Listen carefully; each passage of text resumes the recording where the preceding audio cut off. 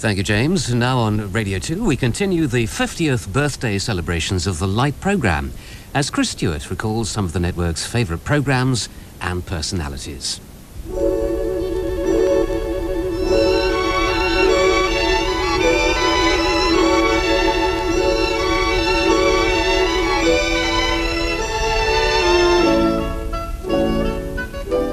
Good morning. You know, it's quite appropriate that this programme should be starting just after the 9 o'clock news, because 50 years ago, that's exactly the time of day when the Light programme first went on the air.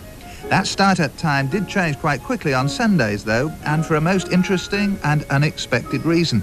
Just one of the secrets I'll be revealing during the next hour and a half as we indulge in a little time travel and revisit the light years.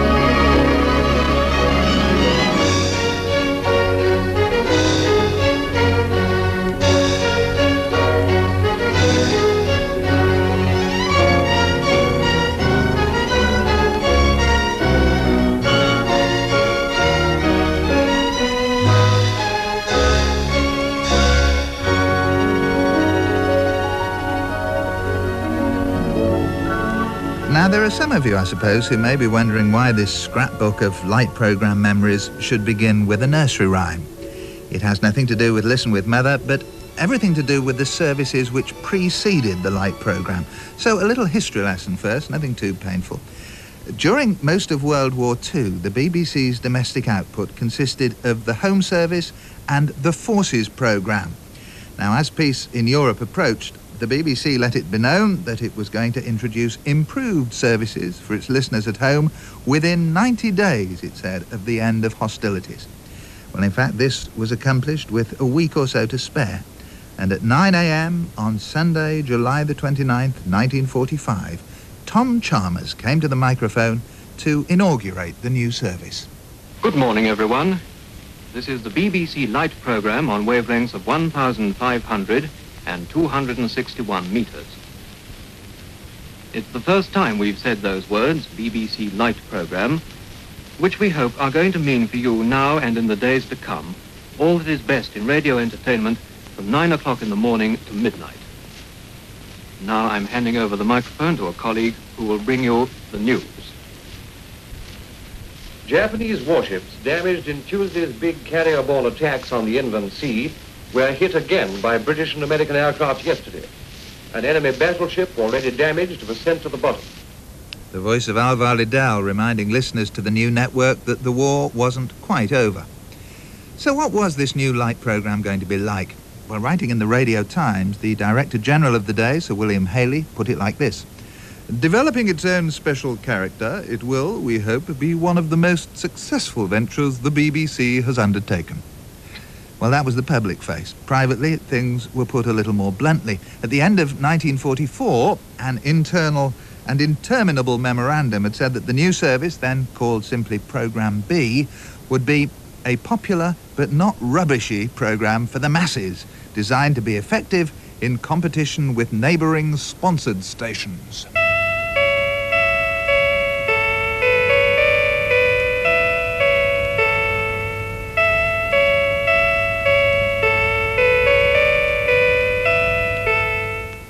It's that nursery rhyme again, and this time in the form of an interval signal, half inched by the light programme from its previous owner, the Allied Expeditionary Forces Programme, which had recently ceased its operations.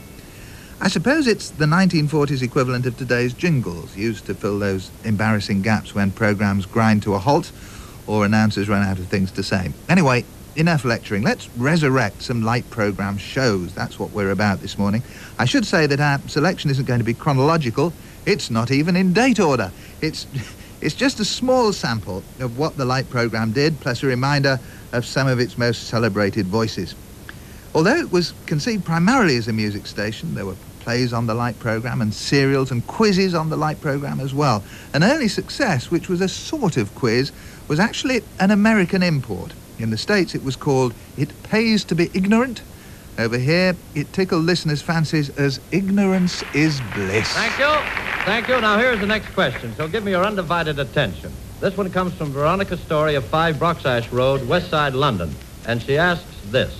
A car is traveling at 50 miles per hour. How many miles per hour does another car go if it is traveling at the same speed? Here, is that all one question? Of course it is. What did you think it was? I thought you was reading the 10 o'clock news. Look, it's a perfectly simple question. I've just bought a beautiful new car. It cost me £2,000. I parked it outside as I came in. Now I've got to get another. Why, what's the matter with it? It's facing the wrong way. Mr. Muller, why don't you get yourself another idiot and settle down? Certainly, Mr. McPherson. Can you cook? My old man's very handy with cars. Do you know he made ours out of odd bits from other cars? Go on, did he really? Yes.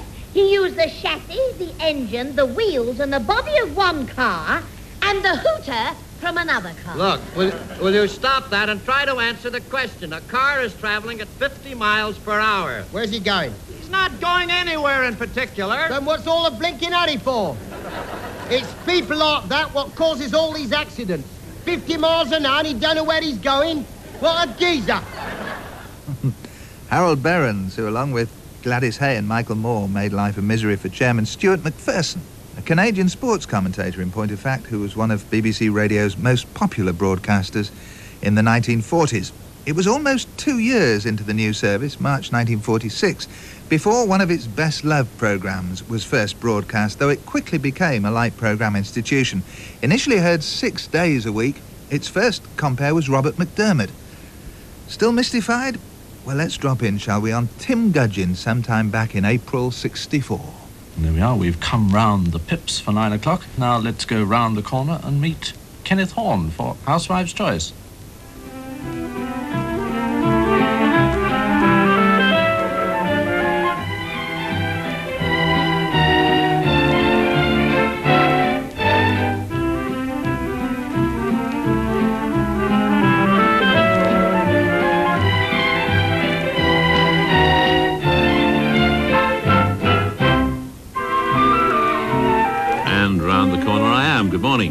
Funny how reticent some people are to give names, whereas others literally fill their postcards with full details of two or three hundred people they'd like mentioned. At 37 Atherley Road, Shanklin, in the Isle of Wight, lives Mrs. D. Walker. She has a daughter whose home is The Nook, Avenue Road, Shanklin. Well, I'd like to be able to tell you the daughter's name. I'd like to blazon it to the skies. But alas, Mrs. Walker is not forthcoming. It's a pity because it's her daughter's silver wedding anniversary today. Kenneth Horne with Housewives' Choice, and I expect you heard Roy Hudd presenting a new edition of that programme yesterday. In fact, the extract we've just heard is pretty much all that survives from the original series, which ran for just over 21 years. And by the way, you can hear more of Kenneth Horne later in this programme, and also again this afternoon at 2 o'clock in Round the Horne. But back to Housewives' Choice. What records did the hordes of listening housewives actually ask to hear? Well, just about anything and everything, it seems, and they certainly enjoyed a titter. Now down. Now down. Now down. Whoa! Believe, this is my record. Right, go. Now down in the meadow in a little fishy pool lives three little fishes and a mama fishy too. Now swim, said the mama fishy, swim if you can. Are you taking the mickey? So they swam and they swam right over the dam. There was George.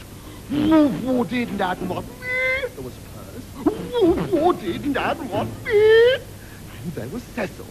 Woof, didn't what uh, He was a snob. He was dying to get into an aquarium. So they swam and they swam right over the dam. All right, whoa! Don't start that again. Right. Now stop, said the mama fishy. You'll get lost, or I'll pay you. Ooh. I hope you won't get the impression I'm mad, because I'm not.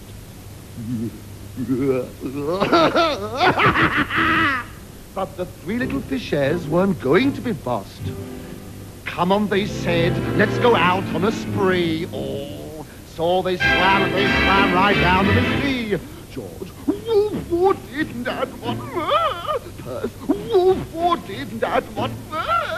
So they swam and they... Wait a minute, we've lost Cecil. Cess, Cess, come on, boy, get up there. What didn't that what? Well, there's no need to fly into a passion. So they swam and they swam right down to the sea. Gosh, said the little fishes, here's a lot of fun. We'll play around here till day is done. This is ridiculous, isn't it? They swam and they swam and it was a lark. Till all of a sudden they saw a shark. Mm, mm. Did that one? What, what did a minute, I'm choking myself. Never mind. Oh, said the little fishes, here's a lot of whales. So quick as they could, they turned on their tails, their tails, their tails, their tails. Ah, that shook it, didn't it? You thought the needle had stuck on the little tinker. And back to the pool in the meadow they swam. They swam and they swam back over the dam. George, oh, what did that one? Percy, oh, what did that one? Cecil, Cecil, oh, quick, quick, oh, quickly. Oh! Oh, no. Well, that was the end of the three little fishes who ended their lives as whale meat dishes. And here is the moral. Never disobey your mam and swim over the dam, or you'll end up as ham, lamb, or jam. And now, scram. Wonderful Frankie Howerd, of course, who made his name in another regular light program show, Variety Bandbox.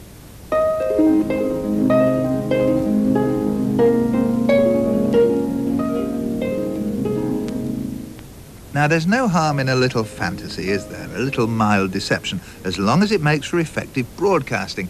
And in May 1949, a program that wasn't all it seemed started out on a 20-year run. Good morning to you all. This is Sandy here to welcome you once again to our chapel in the valley. I hope you're all in the mood this morning to listen to some of these old hymns and one or two sacred songs that have been chosen for the services which are to be held here at the chapel later on today. Well, all our friends have been busy rehearsing the music for some time now. Mr. Edwards, Anne, and of course the chapel organist, Mr. Druitt. And I think we might go inside now and join them for the next half hour while they carry on with their rehearsal.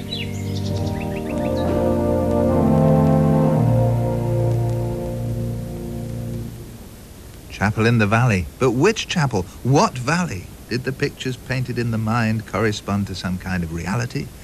Or was there an element of, how shall I put it, misrepresentation? Yes, there was, listener. Mr. Edwards, for instance, was actually called Harvey Allen.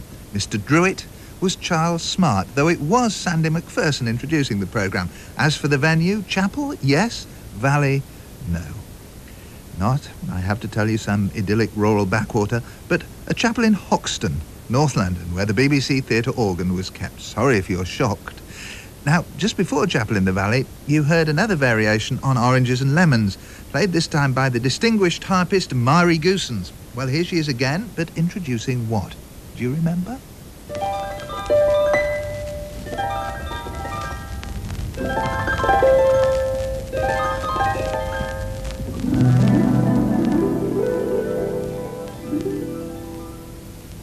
Dead right. Those genteel glissandi served to herald the daily entries in Mrs. Dale's diary, launched in 1948 and quickly a national favourite.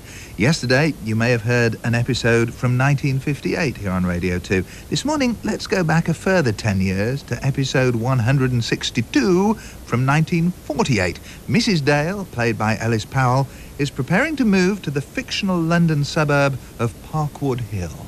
Mrs. Morgan came for the day today. We decided to start turning out the attics. And what a job that Now, Mrs. Morgan, all these old medical papers, just look at them. Bundles of them. We must send them to the salvage people. Hmm. Don't suppose they do from the White Elephant stall for the Guild Bazaar? I wonder now, would they? Oh, I don't think anybody would want to read these. They're all full of medical details. It's a magazine for doctors only. Well, all the same, make good reading, they do, I dare say. There's many likes to read about insides. Very interesting insides are. Well, I think we'd better throw them away. I'm sure Dr. Dale doesn't want them. We can catch the dustman with them today. Oh, and there's a mess of rubbish here. Just look at this, Mrs. Morgan. It's a case full of birds' eggs, and nearly all broken. Bob used to collect them when he was at school. Oh, this must go to the dustbin as well. Well, I could put them on my white elephant stall, what's not broken. Somebody's going to be glad of these, some kid. Well, if you think they'll be any use. Now, what's this? Oh, do look, Mrs. Morgan. It's an old gardening head of mine. Can't think what it's doing up here. Now, hmm? that'll be ever so nice for the stall. Some lady'll give us a couple of bob for it. Oh, no, Mrs. Morgan, you can't put this on the stall. Can't I and won't I? My friend Mrs. Bitmead and me is running it together. Mrs. Bitmead will be ever so pleased with this, ma'am. Can I come in? Mrs. Freeman told me you were upstairs here. Why, Kathy, how nice to see you. I didn't think you were back from your honeymoon. Good morning, Mrs. Morgan. Morning, Miss McIntosh. Mrs. Morgan. Oh, dear. Mrs. Ferguson, I should say. Well, I'll be taking these rubbish papers down to the dustman now because I can hear them coming along the road. Excuse me, please, Miss Mac, uh, uh, uh, Ferguson. Oh, I see Mrs. Morgan hasn't changed. Oh, don't take any notice of her, Kathy. I should bring it back. Mrs. Dale's diary was actually the successor to an earlier saga called The Robinson Family. You can get a measure of the style from this plot summary, which was printed in the Radio Times 1952. It goes like this Last week, Mrs. Owen called to see Mrs. Dale and said how pleased she was that Jenny and Bob were good friends. Mrs. Dale was annoyed and stressed Bob's friendship with Elaine. The family all made resolutions. Dr. Dale's was to give up smoking. This made him very irritable, both with his patients and the family, especially when his car broke down and he had to borrow a very old one from the garage. Mrs. Dale tried to make him smoke again. Searing stuff, isn't it? Smoking doctors wouldn't do these days. A glass of water and some citrus fruit.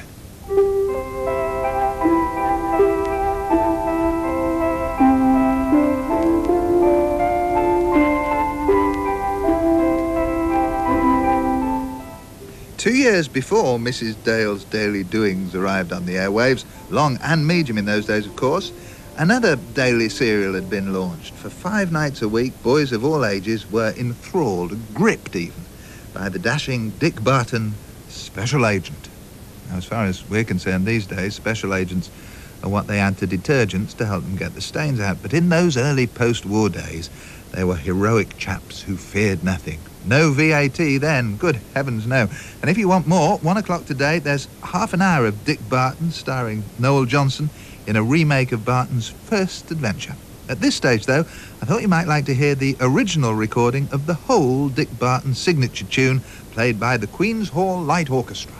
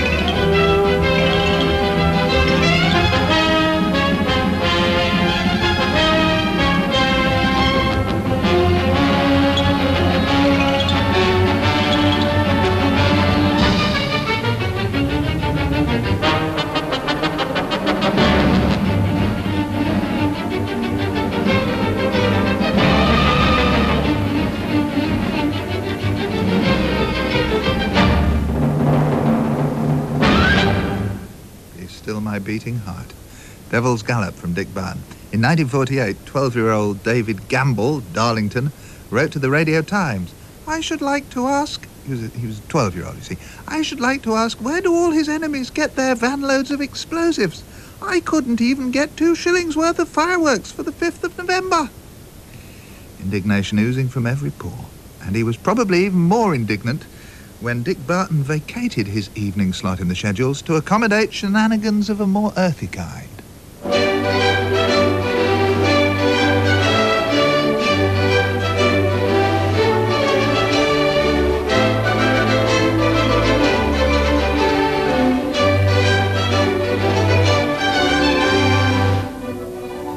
The Archers, which neatly complemented the urban gentilities of Mrs. Dale's world.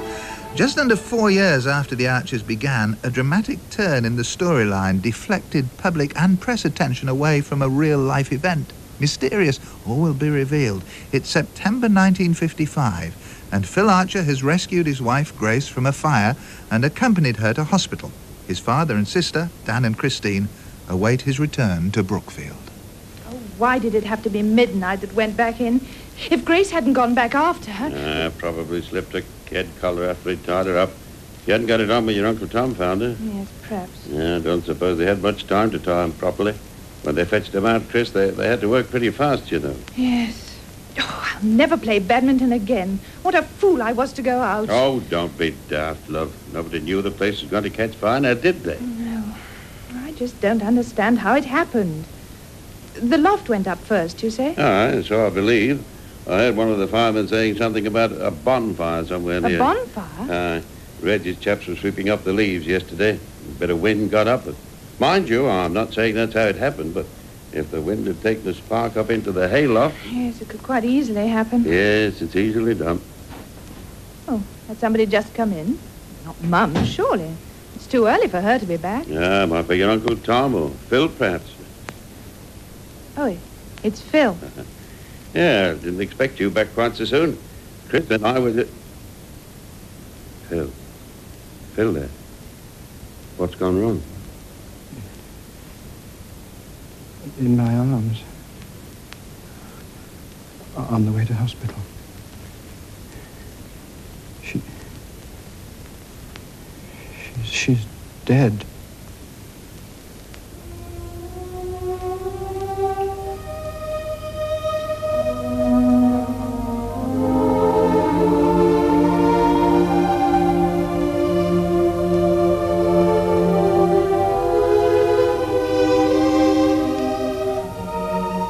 Course, the next morning, all the papers were full of the death of Grace Archer, totally eclipsing that real life event I told you about.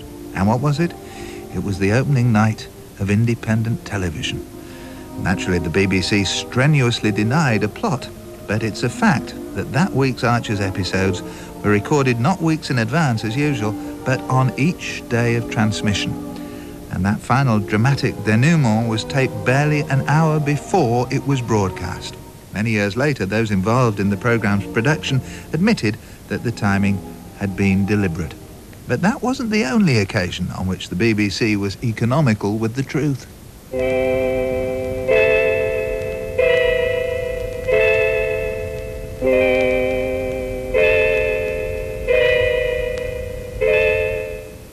As I said earlier, to begin with, the Light programme opened up every morning at the gentlemanly hour of nine o'clock and ran through each day until midnight. But then in 1946, the BBC announced that Sunday's programmes would begin at 8 a.m. and end at 11 in the evening. The official reason given was that analysis has shown that the listening public is substantially greater between 8 and 9 than between 11 and midnight. But I'm able exclusively to reveal, he said, donning his tabloid hat, that the real reason for the change was that Radio Luxembourg was resuming full commercial broadcasting on July the 1st, and the earliest start for the Light programme was to allow it precisely to compete with Luxembourg.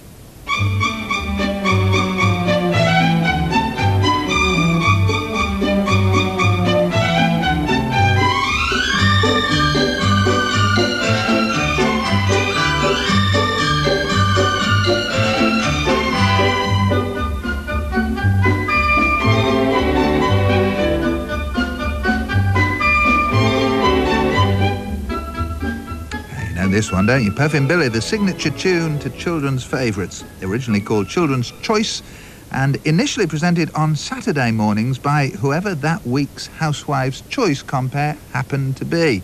I bet the little darlings were a bit flummoxed by the lights of Gilbert Harding and Godfrey Winn, but common sense soon prevailed, and dear old Uncle Mac, doyen of Children's Hour, took over the reins. The programme quickly established its own list of favourite recordings, and they weren't always musical recordings. Remember Reginald Gardiner, the man with the one-track mind? I have a theory about railway engines being bad tempered. Well, when I say bad tempered, that's putting it mildly. They're actually livid, furious beasts, and they loathe humanity. So different from a ship, which is a sad, proud, graceful creature. You know, I can never understand why an engine driver isn't afraid of the monster he's in charge of. But he isn't. And when the train's about to leave, he pulls down a lever, and this livid beast is unleashed. Like this.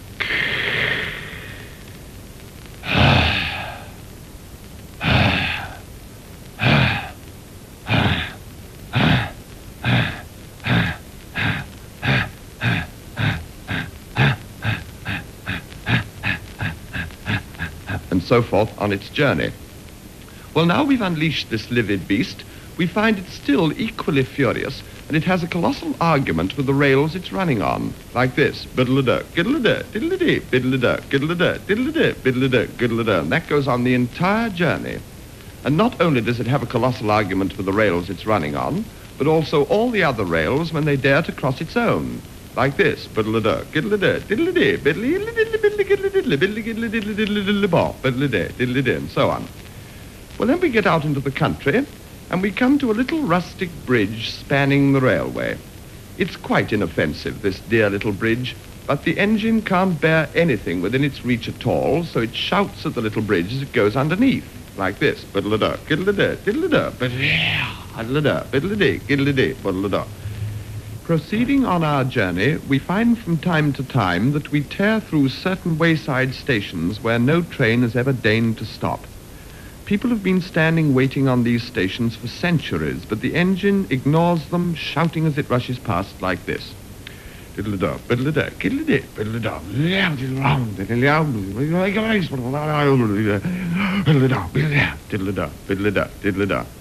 there's one thing I must know before I die, and that's something that takes place in a tunnel outside Snow Hill Station, Birmingham. You dash into the tunnel very fast, and the brakes go on, and you look out of the window, and all down the tunnel at intervals are a lot of flare lights. And in between these flare lights are men, standing. They're leaning on shovels and pickaxes and golf clubs or anything they can get hold of. And these men, uh, they live there, definitely. And as you go slowly through the tunnel, an extraordinary noise starts at the far end and slowly crashes past the window. I've no idea what it is, but it goes something like this. Blong, bong, bong, bong. Ballum, dallum, dallum, dallum.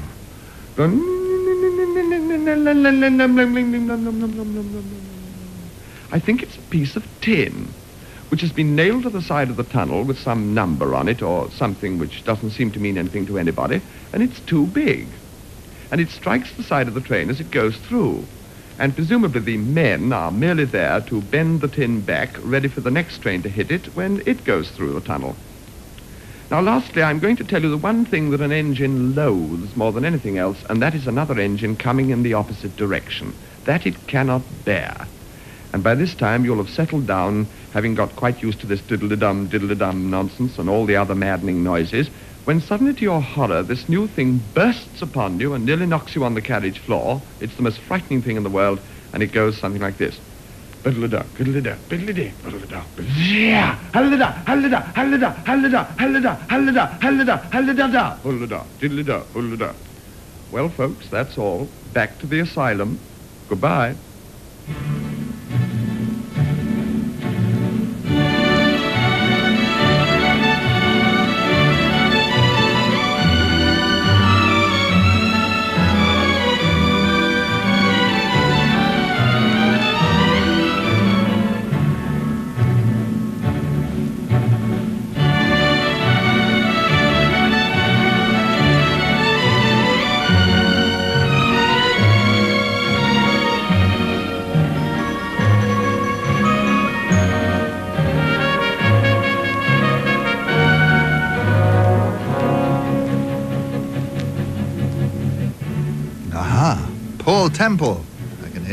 Saying, uh, because this tune, Coronation Scott, did indeed usher in the adventures of Francis Durbridge's super sleuth.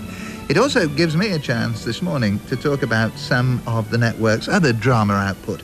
Now, much of the Light programme's drama was exactly that. It was light. It had an element of built-in comedy. And there's no better example of that than the adventures of PC-49, played by Brian Reece. Have a listen to a scene from The Case of the Black Diamonds, and as you listen, see if you can remember what PC 49's name was. Trust you to be on that train 49. You draw crime like honey draws the flies. I can't say I'm flattered, sir. Quite sure you saw nothing unusual? Quite, Sarge. The man clipped our tickets just before we reached Stony Park, then passed on towards the mail van. Have you recovered the diamonds, sir? Yes, black diamonds.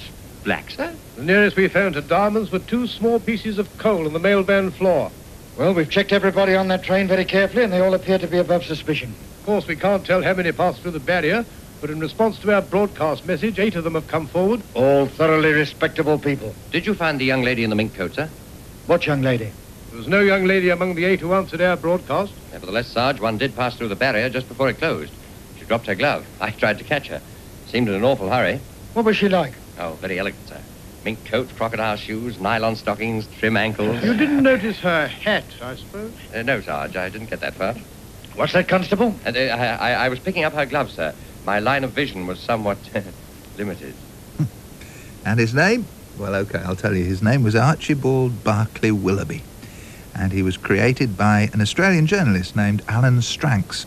PC 49 was without doubt the first uniformed policeman, as distinct from a plainclothes detective, to become a national hero. But if it's heroes you're after, they don't come more heroic than the central character in this innovative series. Journey into space.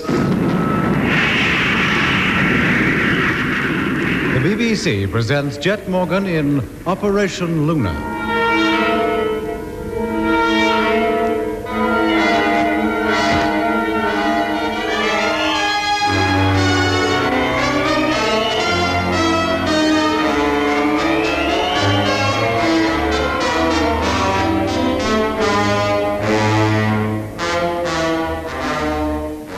Journey into Space was the brainchild of BBC producer Charles Chilton, and yes, that was David Jacobs. It was all revolutionary stuff, and there was no holding Jet Morgan, who boldly went where no one else had yet gone. And wherever Jet boldly went, Doc and Lemmy and Mitch boldly went too. All right, Doc. I'll get into the pilot seat. As soon as I'm settled, I'll go over to intercom. Right. Well, that's peculiar, but uh, most fortunate. Well, what is, Mitch? Well, so far as I can calculate, we're about 17,000 miles above the surface of that planet. Uh huh. And our speed is approaching 10,000 miles per hour. And that's exactly what our height and speed would have been now if we were approaching the Earth after taking off from the moon. Except that it would have taken us more than four days to get this far instead of just an hour or so. Hello, Doc. Now settled in. Can you hear me? Yes. Can you hear me, Mitch? Yes. Estimated distance of surface is 17,000 miles. Speed 10,000 miles per hour. But that's just what it would be if... If we were approaching Earth, I know. I just explained that to Doc. Yeah, I suppose this couldn't be the Earth, could it? How could it? Well, it seems to have land and water and clouds and ice caps. I wish we could think it was, Lemmy. But the ice caps on Earth are nothing like the size of that one. It isn't the Earth, that's certain. But from here, it looks as though our best bet for landing will be to treat it as though it were. Get to your posts and stand by for landing procedure. Yeah, okay, Jet. Right. I'll try to estimate our acceleration rate. And... Hey, listen. Huh? Oh, it's here again. That music. Those ships must be around somewhere. Yeah, I can hear it too. Yes, so can I. Jet, do you hear it? Yes, Doc. Can you see them? Are they out there? No, I can't, but my view's limited. I can't see behind. Stern view. Switch on the stern view. Stern view. On. There they are. And still in that circular formation. Oh, now what are they up to? They're they going to try and turn us away from here, too? Ruin our only chance? Can you see them? Yes, Jet. They're directly behind us. Why don't they leave us alone? Jet, you better come out of that cabin, quick. If we're going to accelerate again, and, and you're sitting in there, the pressure could break your neck. No, don't worry, Mitch. I'm on my way out. Doc, let me get to your bunks. Lie down. Yeah, they ain't catching me this time. Are they still there, Mitch? Yeah, look. Get onto your bunk, Mitch. We'll leave the televiewer on, trained on those ships. Yep. If nothing has happened by the time we're close enough to that planet to go into orbit, we'll go. Ships or no ships. Journey into Space. Jack Morgan, played by Andrew Faulds, who later graduated to that other great theatrical arena, the House of Commons. We present Peter Brough and Archie Andrews in Educating Archie.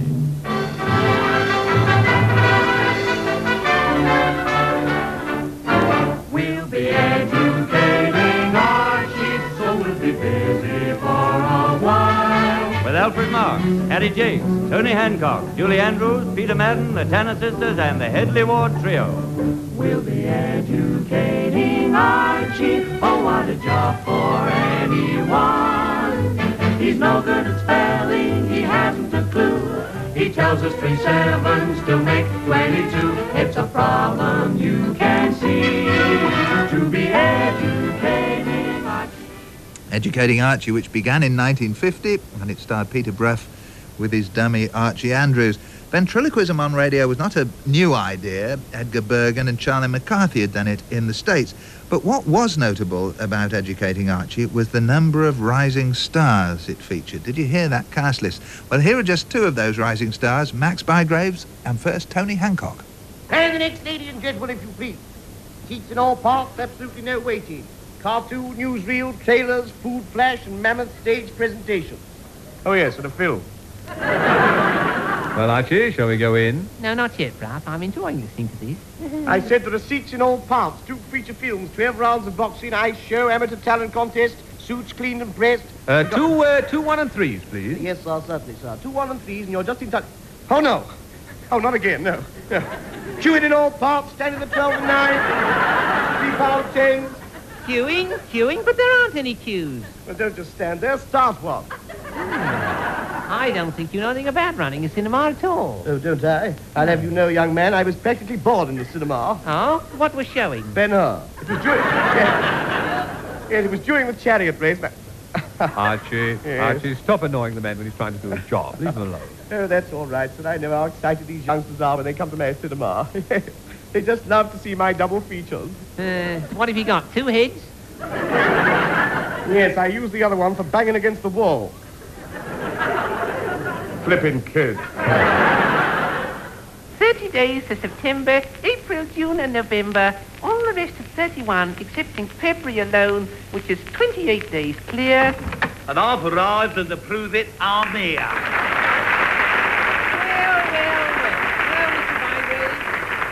Hello, Mr. Bygraves. I'm ready for the end of term examination. Are you? All right, open your mouth and say ah. Huh? Oh, not that sort. The examination at the end of the term. Oh, that end of term, yes. I thought you meant the medical you got when you finished your sentence. oh, yes, yes, exams. Right, have you got a pencil? No. Well, sharpen your finger. Oh. oh, I'm sorry, boy, no disrespect. Here. Here, you can borrow my pencil. Oh, thank you. Right, eyes down. First question. Where is Hyde Park Corner? It's at the corner of Hyde Park. Yes. Yes, well, you're all right on geography. Oh, Mr. Bygrave, look, you have to ask me more than that for an exam. All right, then. Where is Africa? Oh, good, good. Now, Africa is situated... Next, the- we uh, have... Uh... Hey, wait a minute. I haven't finished yet. Oh, all right, go on. Right, now. Half a jiffy, I won't be long. Here, you've filled half the page already. I won't be a minute now. Come on, call my pencil's going down. I've got to mark that lot. The question was simply, where is Africa? Well, it's a detailed answer. Look, the answer is, it's abroad. Another huge comedy success for the Light programme was a show that was originally part of a wartime series called Merry-Go-Round. In fact, Merry-Go-Round spawned three peacetime shows Stand Easy with Charlie Chester, Waterlogged Spa starring Eric Barker, as well as Much Binding in the Marsh featuring Richard Murdoch and Kenneth Horne with, in this extract, Sam Costa. You know, sir, I can't keep my eyes off your tie. Well, Murdoch, I bet there's no one else in this country with a tie as bright as mine. of course not, sir. Good morning, sir. Was there something?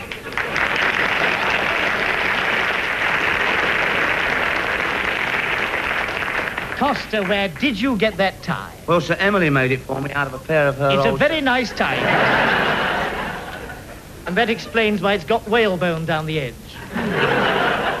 Tell me, Costa. Costa, where did you spend your holidays? Well, sir, as I told Mr. Murdoch, I went to the lakes. Yes, of course, Costa. The Italian lakes. Well, sir, Mrs. Lake was Italian, but Mr. Lake keeps the paper shop. Uh, Mr. Lake keeps the paper shop next to us at Croydon. But, Costa, I understood you'd been to see the beauties of Italy. Oh, no, sir, I missed that. That was at the Croydon Empire last week. this week, they've got Sporty Girls of Vladivostok. Costa, where were you last week? I've just told you, sir, I was at the lakes. You see, before she married, Mrs. Lake was a Miss Tutti Frutti. She was she was in the restaurant business, and once a week she used to make the sweet course. I know, Pancake Tuesday. No, ice cream Sunday. What on earth made you spend your holiday at the house next door to yours? Well, Emily and me thought the change of air would do us good. And did it? Oh, yes, sir. We're two different people now. Oh, really? Who are you? That's right, sir. and what's more, Emily's twinges have completely disappeared. Oh, it's a pity we shall have nothing to talk about now. So I suppose you're going to the lakes again next year? Oh, no, sir. We've got quite different plans. Oh. Yes, the lakes are coming to stay with us. And much binding in the marsh. Although we've had a really good vacation, tiddly-pom-pom, And much binding in the marsh. We're happy to be back in circulation.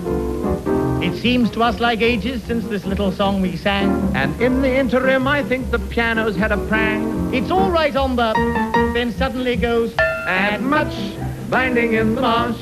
And much binding in the marsh. The story of my halls I'd like to retail. And much binding in the marsh. Good, Murdoch. Give me every single detail. Well, I started In off... Bermuda, Murdoch, when you go to sup, And then I went they to... give you lobster cocktail in a cup. And finally... Most interesting, but in New York... Shut up! And much binding in the marsh, lost nurse, and much binding in the marsh. Although his Paris trip was not so dusty.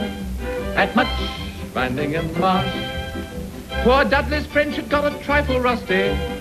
He met a lovely mademoiselle and fell in love with her. But when the girl said promenade avec moi, monsieur, He couldn't quite recall the French but... at much binding in the marsh, lovely audience, much binding in the marsh, They're all my relations. at much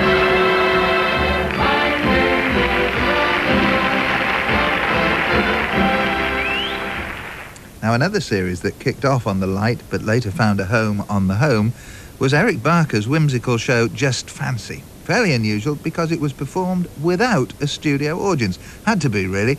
It would have been hard to believe in Eric Barker and Deryck Guyler as two old friends resident at Cranbourne Towers Hotel if their exchanges had been regularly interrupted by audience laughter. It was gentle, subtle comedy. And in this scene, we find one of the old gentlemen laid up with a broken ankle. Well, how does it feel? Oh, hmm? Oh, oh, much better. Uh, thank you, yes. Yes.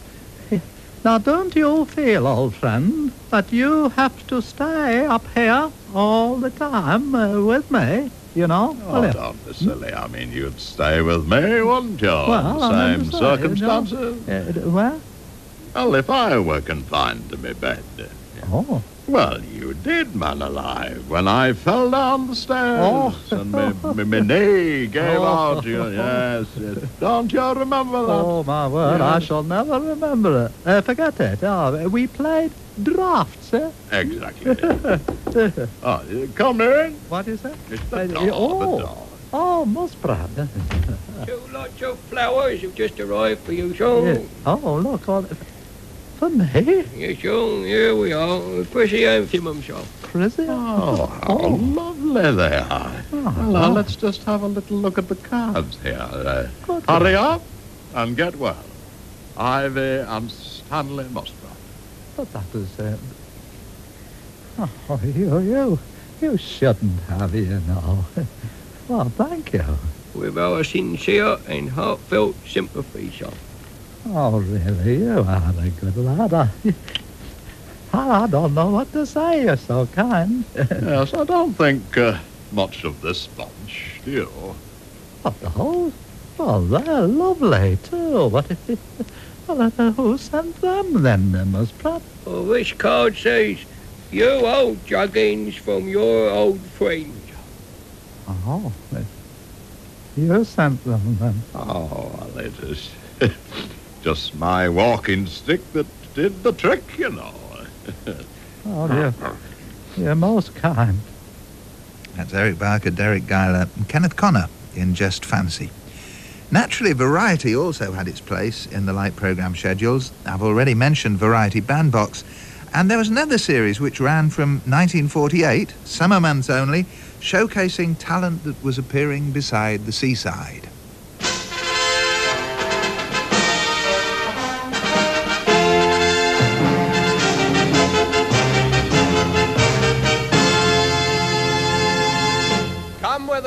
Stars are always bright. Begone, dull care. It's Blackpool night.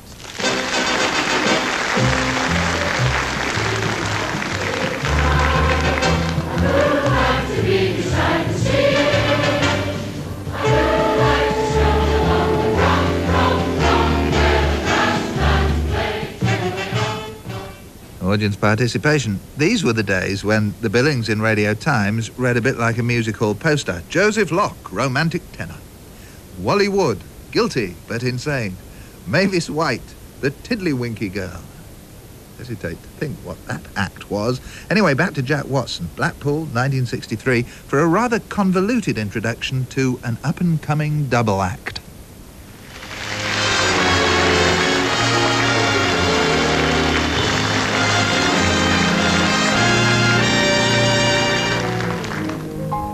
After month, the premium bond winners are picked. But I never have any luck with Ernie. He has a namesake, and we can all be in luck with him. For this, Ernie's wise. His bond is with Morecambe, and we're all invited to be shareholders in their jolly company. Meet those energetic young partners, Morecambe and Wise.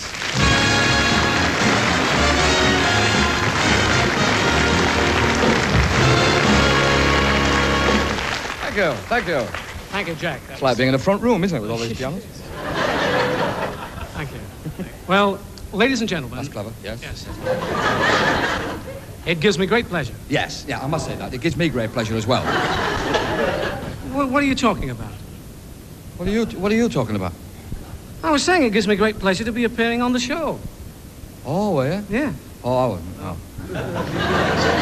And it Oh. isn't every day No, no, well, obviously not. that No. one gets the opportunity to see such a nice, happy, smiling audience. What do they do? Well, they don't do anything. They just sit there. Oh. They're only here 'cause it's free, really, aren't they? No, I mean, you are. You're right. You're only here 'cause it's free, aren't you? Well, I've got news for you. There's going to be a collection. Wonderful. Now, alongside the variety in the comedy shows, there were also light program quizzes. There was What Do You Know, which developed into Brain of Britain. There was Round Britain Quiz. And most popular of all, there was 20 questions. In that programme's early days, Stewart MacPherson was the chairman, and back in December 1949, we find Richard Dimbleby engrossed in a solo round in hot pursuit of what precisely? When you use these things out of doors, do you manipulate them in your hands, or Uh, are they there and do they stay where they are when you're using them? Sometimes you manipulate, manipulate them with your hands, and other times you just use them. Six. I should imagine if you're using one of these, you do a little bit of manipulating. I don't know. Six.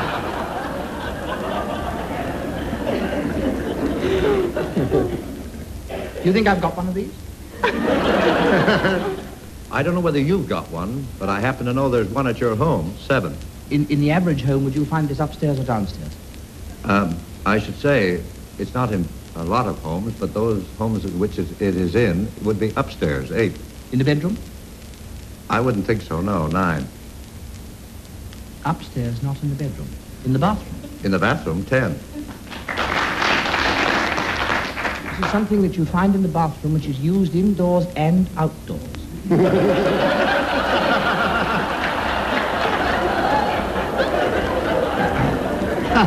that might, uh, that might have been better expressed. Yeah. yes, you could have talked with your hands. That's 11. Does this cost you anything to use outside? Some, sometimes it costs you something, and other times you can use it for nothing.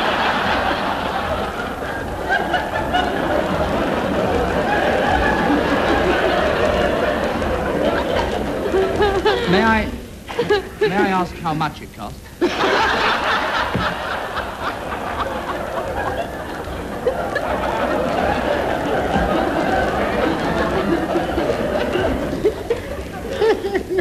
Generally, generally a penny.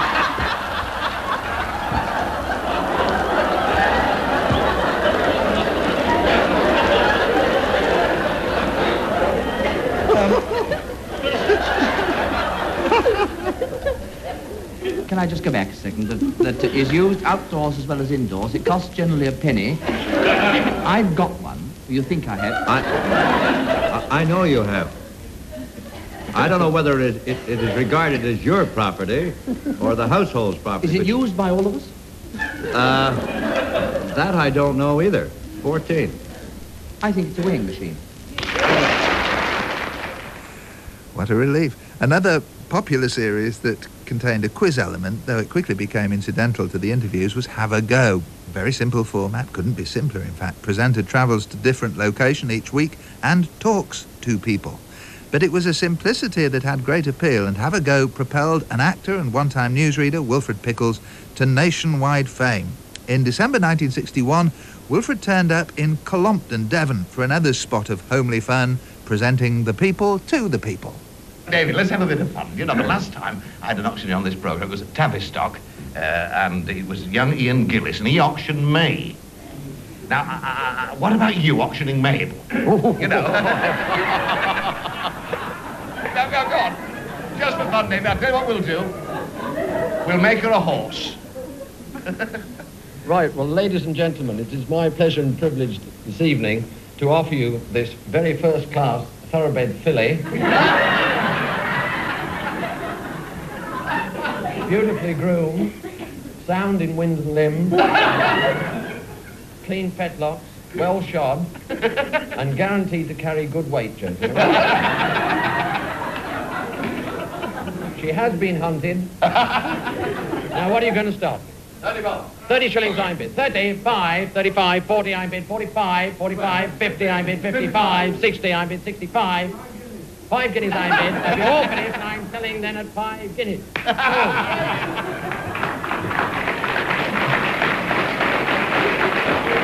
Very good, David. You'll be delighted to know, ladies and gentlemen, she's been sold to a farmer from Tiverton and he's 94.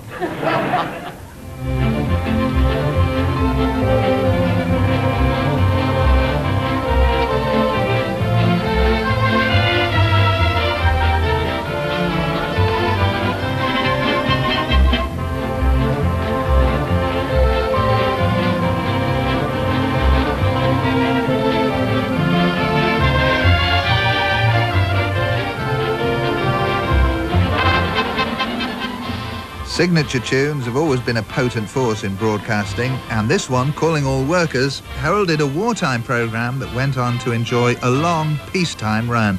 Music while you work. The ensembles that played the non-stop medleys didn't seem to have any existence at all outside the BBC's studios. Ralph Elman and his Bohemian Players, Bernard Monshin and his Rio Tango Band, Michaeloff and his Mazurka Orchestra, and Falkman and his Apache Band.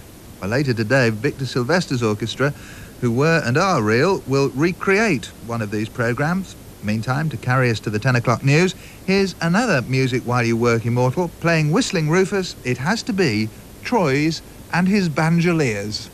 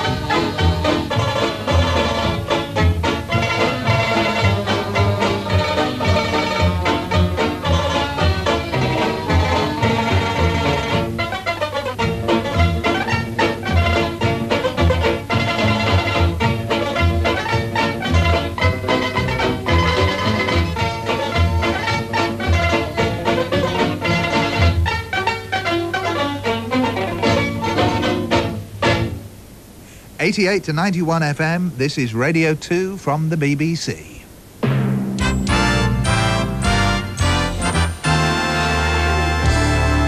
The news at 10 o'clock. This is James Alexander Gordon.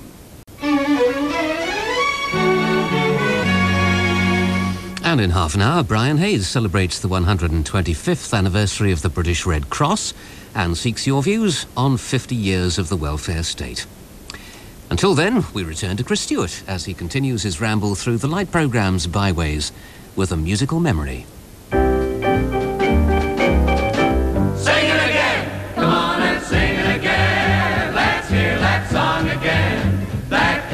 Tune that makes you wanna sing it again. There are songs to make you blue and songs to cheer you.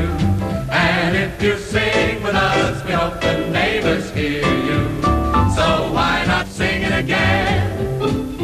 Yes, why not sing it again with us as we present for the next 30 minutes a quick fire sequence of popular melodies, old and new. The words of music make you wanna sing it and then just take that catchy tune and sing it again. First tune comes from a little lady of song, Mrs. Campbell's lovely daughter, Jean.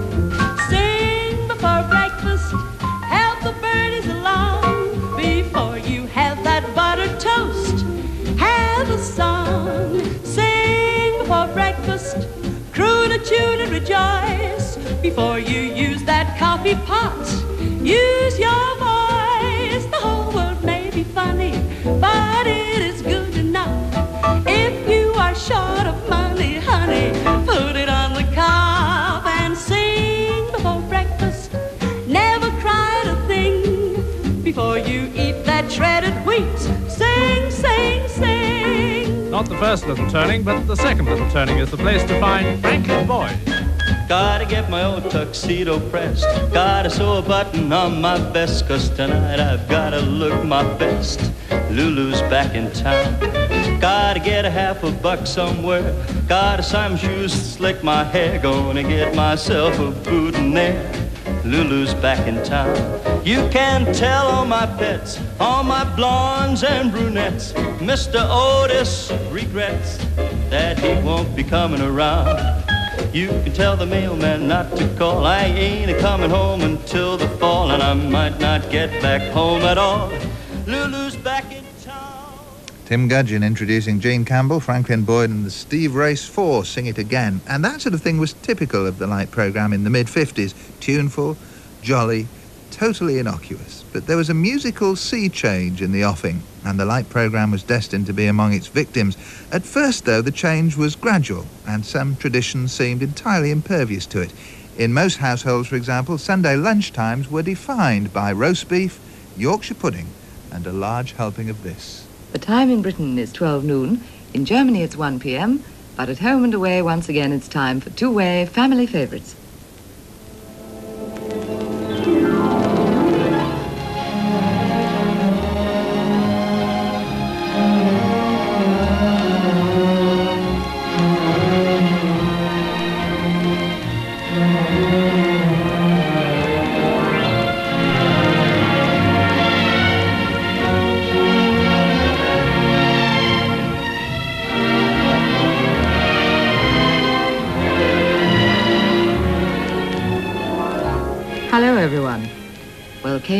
This morning, and to borrow the title of one of the records to follow shortly, down came the rain.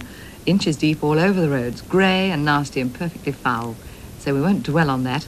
Two-way family favourites eventually dropped anchor at noon, but it had drifted up and down the schedules a bit before finally docking in the middle of the day, complete with its bumper bundles.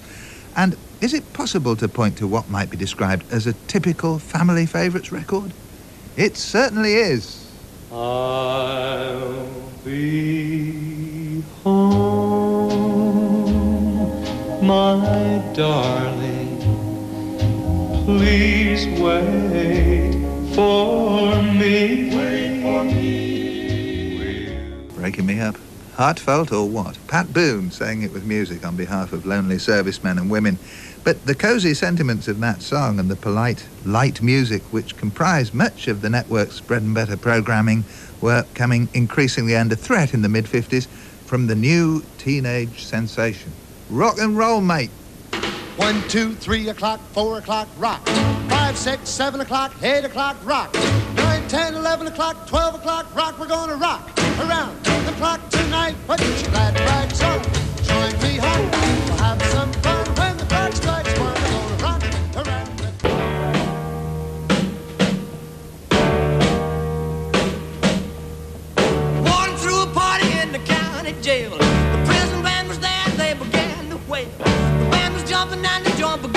swing. You should have heard knocked out jailbird sing. Let it rock. Everybody let it rock. Everybody in cell block was dancing to the rock. Bill Haley and Elvis Presley, the standard bearers of the American rock and roll invasion. And although the Beeb didn't succumb totally to the new music, it did recognize its appeal and launched a new program in October 1955. It was called Pick of the Pops. And the first DJ, somewhat incongruously, was Franklin Engelman, a former announcer. He was succeeded by Alan Dell, who in turn made way for. Well, let's tune in to the Light program, May the 9th, 1959. Having closed the music album from this Saturday, it's time for us to open the record cabinets and take out the record albums, or at least the singles that have made the hit parade, because it's what? Not quite. It's 11 o'clock and time for Pick of the Pops, presented by David Jacobs.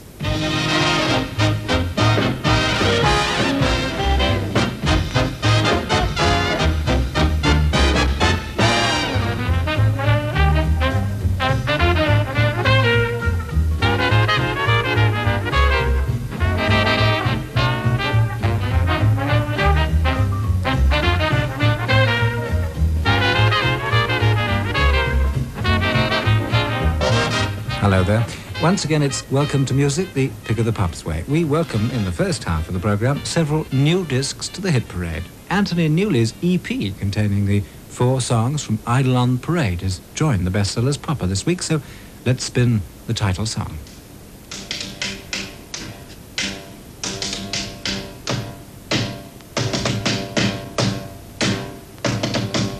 This is a camp that is mighty tough where the marching You see, in those days, the program began with the top 10 and then went on to play the new releases. So, what was top of the charts in that 1959 program? Stay tuned.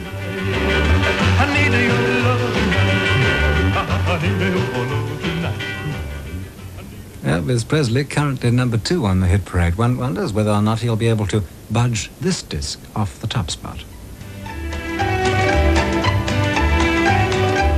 There you go, going, baby. Here am I. Well, you left me here so I could sit and cry. Well, golly gee, what have you done to me? Oh, well, I guess it doesn't matter anymore. Do you remember, baby, last September how you held me tight each and every night? Well, whoops a daisy, how you drove me crazy, but I guess it doesn't matter anymore.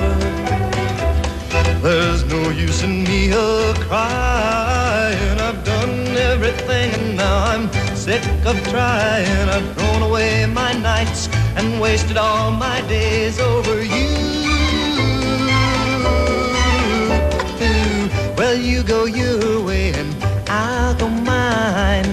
Now and forever till the end of time, I'll find somebody new, baby. We'll say we're through and you won't matter anymore.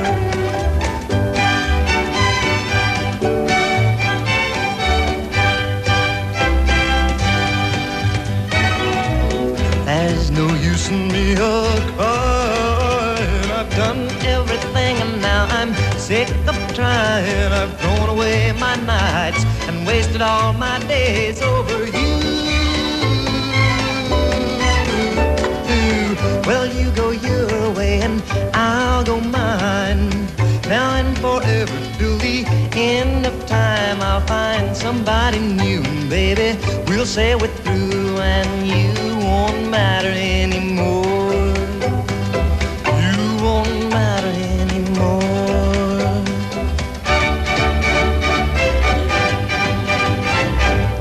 Buddy Holly's It Doesn't Matter Anymore, still top of the pops, and a really good one it is too.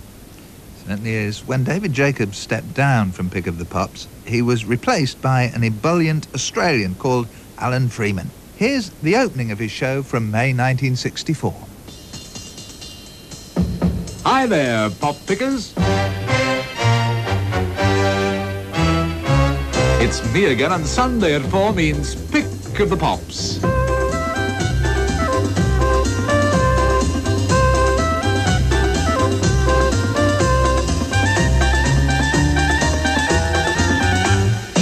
The lower top 20's top press reports, we've lost Richard Anthony and the Applejacks. Down comes Manfred Mann from 17 to 20, the Mojos from 15 to 19, the Migil 5 from 14 to 16. Up goes Billy Fury from joint number 19 to 18, the Merseybeats from 16 to 14, and Dionne Warwick from 12 to 11. And the rest will meet in Unit 1, the chart newcomers, Unit 2, the new releases, Unit 3, the pick of the Pops LP spot, and Unit 4, this week's top 10.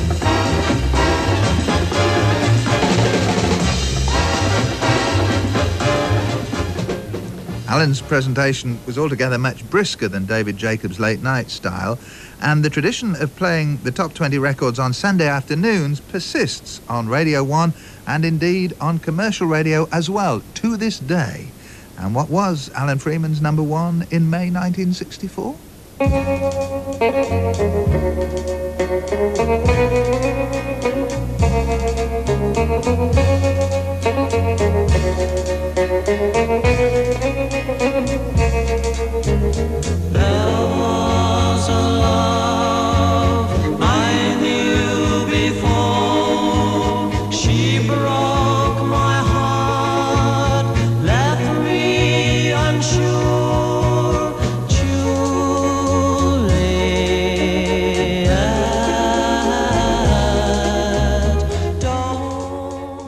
After only four weeks of chart fame, this week's number one pick of the pops, the Four Pennies and Juliet.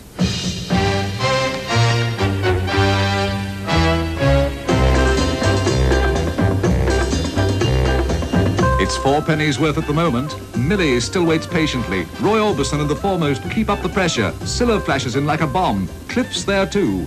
And it's the next pick of the pops.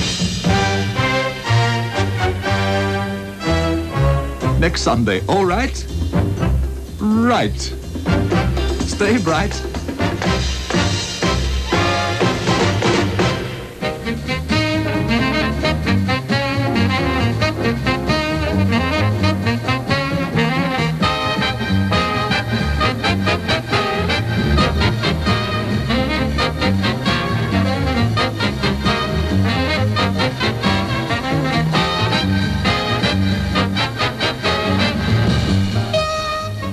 Me old mateys. I'm very glad you could come along this morning. And we're kicking off straight away this week with a double event, a 21st birthday and a wedding. And uh, both of them happening to Christine. So I'm told by Chris Clark and Michael Bailey. Christine, they say, is 21 today. Congratulations, Christine. And getting spliced today, they say, at 12.15. So more congratulations. This is also for uh, four bridesmaids, Anne, Kay, Valerie, and Jean, who are waiting with Chris at 8 Hawk Road in Stafford. Also for Michael and Paul, waiting in trepidation at 45 Lovett Street in Stafford. The record for all of you, the new hit by Laurie Johnson Orchestra, Sucu Sucu.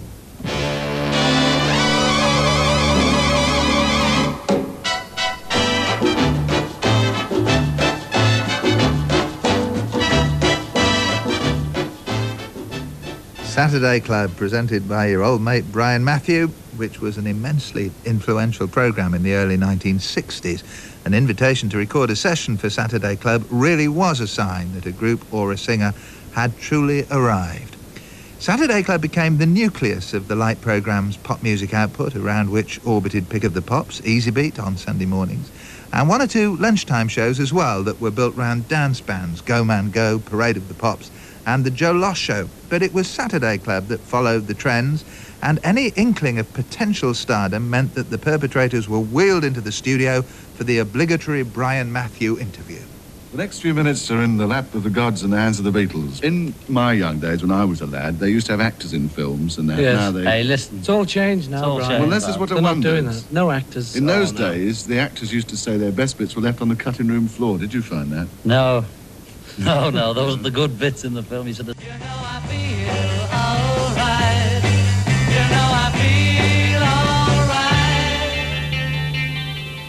The Beatles and A Hard Day's Night. As the 60s wore on, the rise of pirate radio and its suppression by the government ultimately spelled the end for the light programme. It was something of a dying fall because television had already eaten substantially into its audience, particularly during the evenings. The days when you could hear three top comedy shows in one listening evening had long gone. But in the middle 1950s, no show was more popular than the one starring the lad himself. We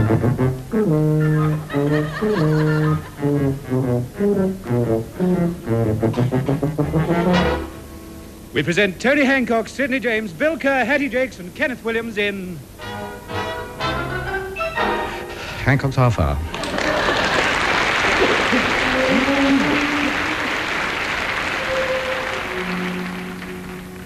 Fed up. Oi. What? Why don't you shut up moaning and let me get on with the paper? Well, I'm fed up. So you just said. Well, so I am. Look, so am I fed up, and so is Bill fed up. We're all fed up. So shut up moaning and make the best of it. Ah, dear. There must be something we can do. Bill, haven't you got any bright ideas? No. That was a waste of time asking, really, wasn't it? you finished with that paper yet? No. I want to know what my stars say. What are you? June the 21st. What sign is that? The crab. It says, today looks like being a very exciting day. Well, good luck to him. I think I'll go to bed. You've only been up an hour. That is by the way and nothing to do with it. I might just as well be in bed. There's nothing else to do. I wish I hadn't got up now. Your dinner wasn't worth getting up for, I'll tell you that for a start. Oh, well, I don't know. I ate all mine. That is neither here nor there. You also ate Bill's and Sid's and mine. I thought my mother was a bad cook, but at least her gravy used to move about.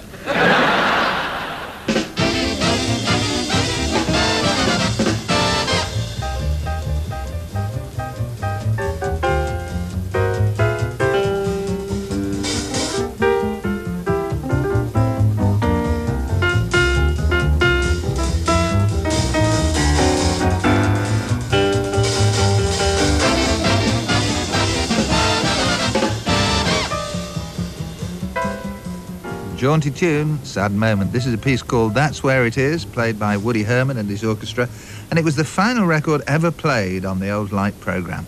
In just a moment, we'll hear Roger Moffat performing The Last Rites, but first I must salute the indefatigable team who've helped assemble this programme.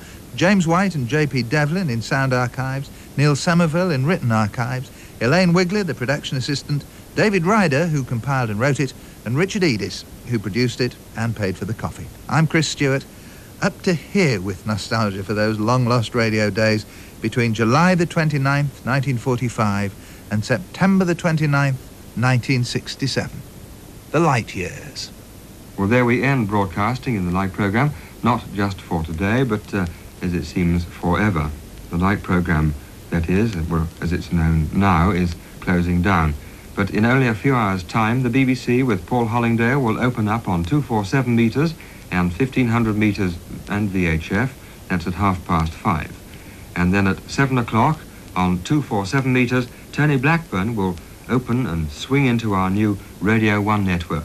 We hope you'll be with us not only at half past five, but if you like uh, pop music, as it should be played and uh, should be introduced, in this case with Tony Blackburn, then uh, switch over or switch on to 247 at 7 o'clock. Roger Moffat at this end, hoping that everything your end will be just as you would like it to be. With the time now at three and a half minutes past two. Good night to you and good morning.